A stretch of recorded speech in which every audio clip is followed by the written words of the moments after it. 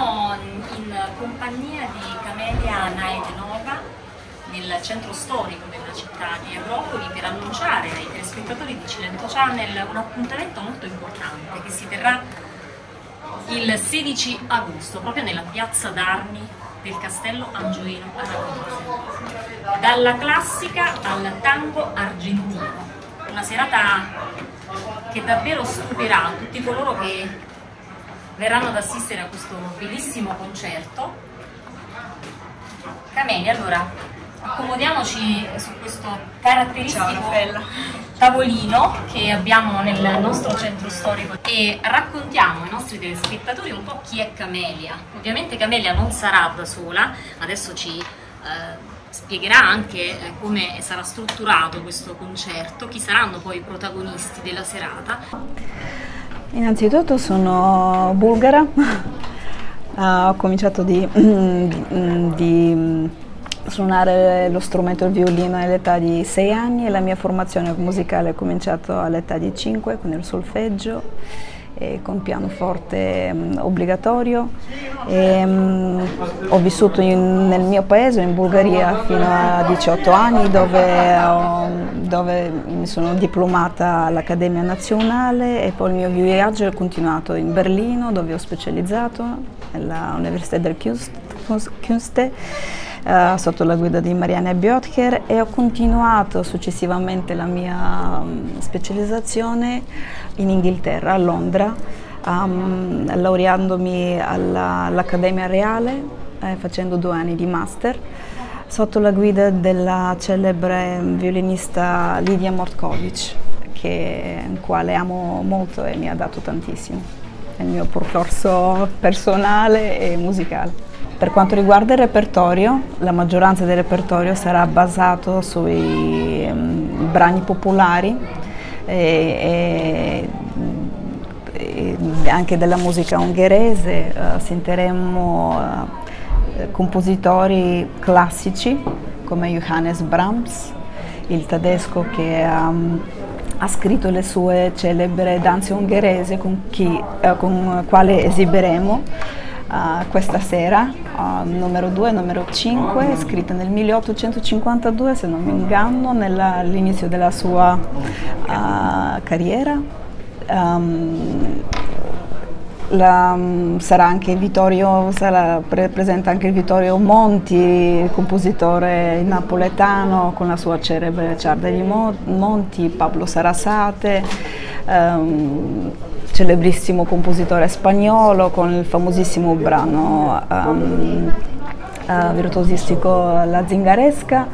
E poi proseguiremo nel mondo del tango argentino con Astor Piazzolla che è il um, più importante eh,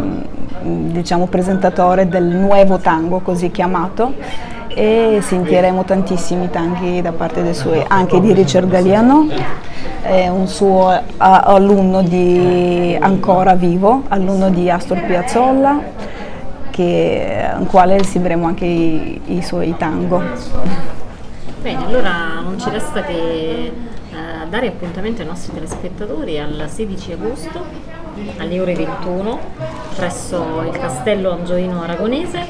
per uh, inebriarsi insomma, di questo mix di eh, violino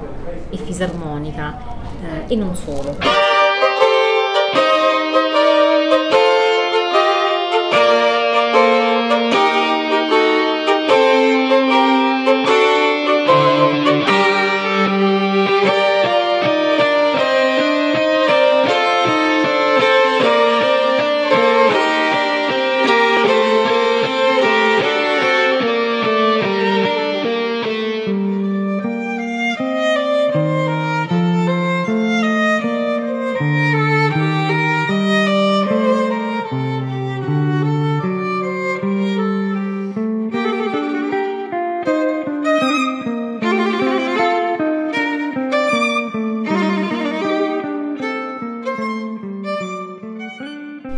Dalla classica al tango, una serata eh, da non perdere, quella del 16 agosto presso la Piazza d'Armi del Castello Angiolino Aragonese di Agropoli, in compagnia anche di Francesco Citera, che è poi un musicista eh, del Cilento, made in Cilento, insomma, quindi eh, il suo strumento è noto a tanti, insomma, che seguiranno questo servizio. Allora, Francesco, un concerto un po' insolito, direi, perché è abbinato ad uno strumento eh, che è poi il violino. Esatto, diciamo l'idea di Camelia che mi ha contattato e sono stato felicissimo di questo, era proprio quello di proporre un repertorio magari anche conosciuto ma con una formazione insolita che potesse eh, dare spazio a tutti e due gli strumenti che sono due strumenti solisti se vogliamo, quindi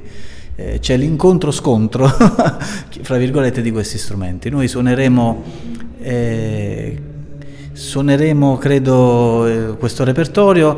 dal tango al classico, dal classico al tango, quindi eh, illustreremo come Gardel si scontrava con Piazzolla, eh, uno fondamentalista e l'altro eh, innovatore, quindi eh, new tango con il vecchio tango. La stessa cosa ha fatto Richard Galliano, un altro grandissimo fisarmonicista che dal musette style ha creato il new musette style